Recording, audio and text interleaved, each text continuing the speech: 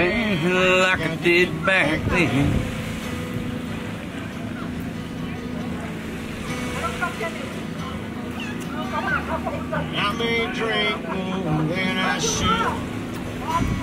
Folks, I just want to say Merry Christmas to everybody. Just going to be a quick video to say Merry Christmas. I know by the time I get this uploaded, Christmas is already passed, but you know, I just wanted everybody, hope everybody enjoyed their Christmas with their family. I was going to do a live stream, and I said, you know what?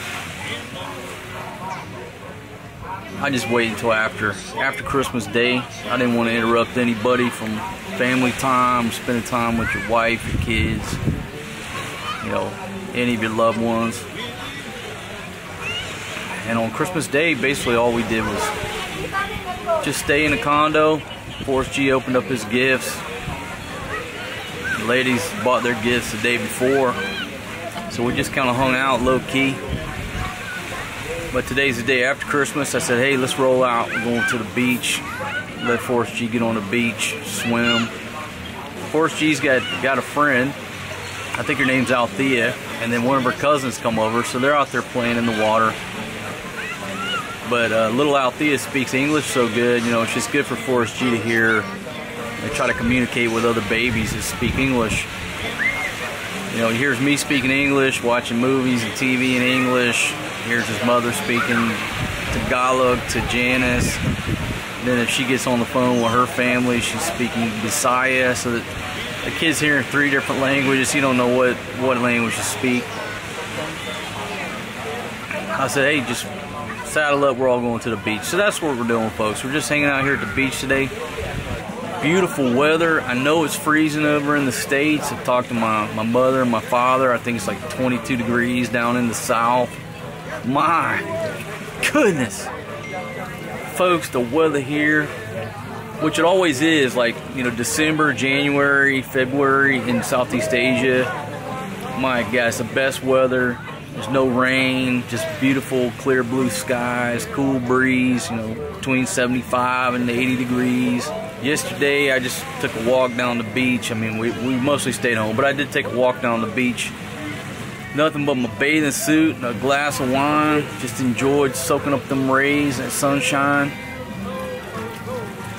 So I know you guys over there braving ice and snow um, through this Christmas season. Hey folks, I like to have snow Christmas like anybody else. But for like maybe a day, a couple days. Um, then I love coming back to this tropical weather, the beach, coconuts, palm trees. I mean, we got people barbecuing. No, we're not barbecuing right now, but I, there's like three, four, there's barbecue grills everywhere. And that barbecue is just wafting through. My goodness, it's smelling so delicious.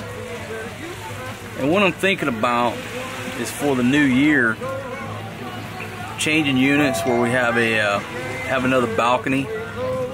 Rolling over to that Wilcon Depot, picking up that grill, and just go back to cooking every night for the ladies. And my goodness, we need it because look, Fatima is a sweet lady, but she can't cook. She can't cook. Her mama didn't teach her how to cook. Uh, just not one of her skills. Janice can cook some Filipino food, pretty good, a few dishes. Can't cook any foreign guy food. The amount of time I've spent over here throughout the years, I can eat Filipino food at this point one or two nights a week. That's all I want to eat it. Okay, reserve one night for pizza, one night for some type of Mexican. I don't have Mexican over here like I got at Tequila Reef over there.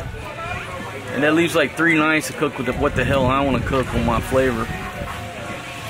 So I'm really missing having a balcony to be honest with you.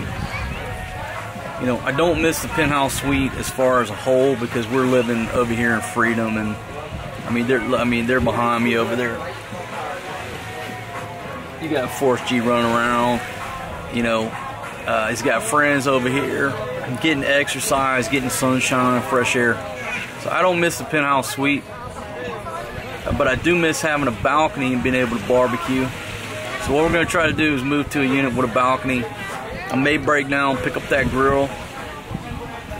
And like everything else, you know, everything I buy is an anchor because I want to travel. I want to travel and displace and bebop from here to there. But like anything that I buy, too big to fit in a suitcase, we buy it, we use it, then we give it away to somebody who, you know, has a house, you know, like my buddy Jason or Francis or somebody like that local that'll keep that piece of gear, you know, until it falls apart. So the old lady's like, oh my God, you can't, that's too much money for a grill, blah, blah, blah. And I said, honey, we'll use it for a couple months, you know, do our cooking shows, I'll cook some great food. It's like, then what are you gonna do there? I said, I'll probably give it to Jason. You know, she's like shocked. Um, folks, my Filipinos, they're not big into doing charity work. They're not big into giving stuff away. They're big into hoarding. Um, a lot of my relatives, I come from the backwoods of Mississippi, you know, they were taught by their, their grandparents, you know, about the Great Depression. You never throw anything away, you never give anything away, you keep everything. That's the way my ladies are. They don't want to give nothing away.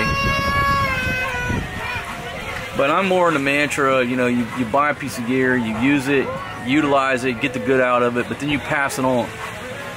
When, it, when you're either no longer using it or you're moving to where you can't take it with you, you give the shit away. Let somebody else take benefit from that, you know? So that's what I'm eyeing. I'm eyeing a place with a balcony, nice gas grill to do some more cooking shows and just fire up a different cuisine than I've been eating. My belly is getting big and I suspect it's because I've been eating, you know, too much pancit and stuff that Janice has been throwing down on the table. Mm. Oh yeah. I don't know if I put this out in any other video. Oh, maybe I do have a clip of it. Christmas morning, we woke up and the bed was shaking. And it, it was shaking side to side. And I got Janice on my left, old lady on the right, Forrest G's in between me and the old lady. The bed is shaking like this. And it was shaking long enough to wake me up and keep shaking, and then for me to get my wit and say, shit, it's an earthquake. So I like punch the ladies, you know, I'm like, hey, hey, hey, it's an earthquake, you know, just pay attention, see what's gonna break down. Usually these tremors, folks, they last for five seconds, maybe 10, you know, 10 seconds max and they go away. It's just tremors. Because the epicenter was down, I think, near Batangas, which is south of Manila. You know, a good distance, what, uh, a couple hundred miles from us, maybe 150 miles, somewhere in there. But on Christmas Day, we did, I did get woke up to an earthquake. But it was doing a pretty good shake on the bed, and it was a side-to-side -side shake. The first earthquake that I ever experienced. I guess it was the first one. Yeah, I was in California. I was sitting on a balcony, like a second floor balcony, and it felt like the balcony was doing this, like I was on a diving board. I mean, it literally felt like I was bouncing on a diving board, about to jump off into the water, and it was over the water where I was sitting. Uh, but it was an earthquake, and so that one felt like this like up and down because of that balcony. But on the bed this morning, it was a side to side shake. And folks, I've been through a lot of tremors between uh, in all my travels, you know, between here, Afghanistan, California. Um, you know, it's just a it's just a little what Kevin called it, a little rock and roll. But that's the only one we felt. I didn't feel any aftershocks or anything like that. Everything's cool. But what's funny about that too the video the day before, I stopped by and I checked out that board, which was talking about tsunami, earthquake, and uh, landslide evacuation plan. I was just kind of joking. I was telling you guys my tsunami plan. Boom, less than like 12 hours, well, see, 12 hours later, and maybe 16 hours later, boom, there's an earthquake, you know. And you don't want to you don't want to downplay when shit happens, right? Because maybe there's a tremor and then maybe there's a huge ass quake and the building starts pancaking on your ass. So you know when I feel these these tremors, I do take action. At least get get my wit about me and about what I'm gonna do. So if anything gets better, I'm taking fucking action. So once I got my wit about me, you know, okay, action plan. grab Forrest G and roll. and the the ladies got to fucking keep up. I mean, that's That's the way it is. They've been briefed on their role in any type of action plan, whether it's a uh, earthquake or a tsunami. They just got to keep up and do what I do. Little Forrest G's coming up here. Hey, buddy. Janice looking beautiful today in her little. Uh, she's only wearing the bottoms of her bathing suit today, but that's okay.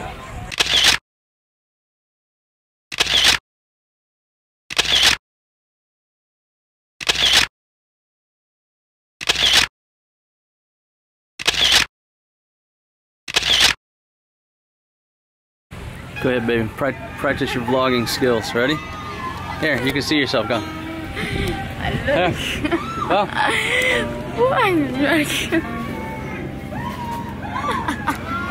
Honey, I'm trying to my face. Honey, come on. Do your vlog. Go. I'm trying to my Wow, put it back. uh, Put ba the ano. Baby. Just right there. Just start I talking. couldn't see my face. You, you can see your face? No, it's half in here.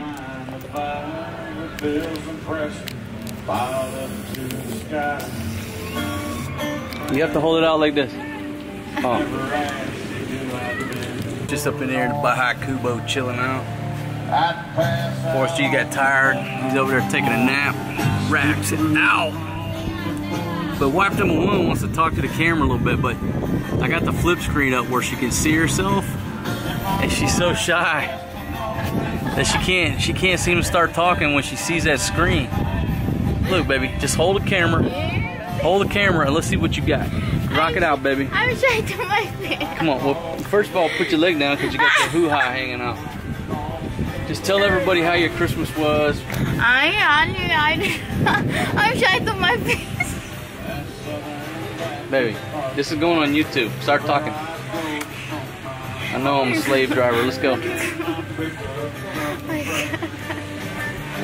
Baby, just say, hello guys, welcome to my channel.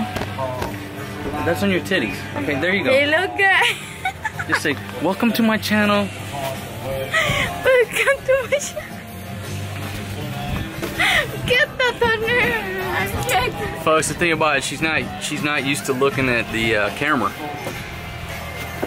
You know, I guess uh, I mean like when I'm filming on the GoPro or that little DJI, she can't see herself. And if I'm filming her behind this camera, she can't see herself. So she's not used to seeing herself when I'm videoing. So now that I flip up the screen where she can hold it and see herself, she can't she can't seem to pull it off. She's too shy. Folks, it's a beautiful day here on the Subic Bay. It's the day after Christmas. A little bit of wind starting to kick up out here. Just take a look back. This is a high Kubo we're hanging out in. One, one most of the time we hang in a far one just so we're not bothering folks, you know. But every, everything is good though. Wi-Fi reaches out there. Now it doesn't have electric, so if I come out here and I spend all day working in my office, I have to pick one of the other Bahay Kubos because I have to plug my laptop in or, or it'll go dead. I ordered the ladies a snack. Waiting on the food, folks, and I'm gonna show you the food I got for these ladies. And I think they're gonna be pleasantly surprised. Because I ordered nothing but foreign food, baby. Extra spicy. Are you excited about the extra spicy? The spicy nut. You don't want to eat spicy? Why not? Did you see me that I eat a spicy? Baby, you'd eat anything. Uh, but not. Mm, Take a look at this little dog right here. He was a hot dog, then he was a he's a tired dog. Now he's a sleepy dog. But Janice Janice bought him that goat. It's like a little rubber kind of blow up bouncy goat. But we had this big argument over whether that was a goat or a cow or a bull. But I mean, if you look at the tail over there, stick straight up, that's clearly a goat. That's a red goat. Perfect for little Forrest G to prop his feet up on. And just sleep here. This little Bahay Kubo, my friends. Got a ceiling fan, electric. Now again, this one over here on the end, the electric don't work. So if you come here and you need electric, get one of the first two or the big one. Electric don't work in this far one over here.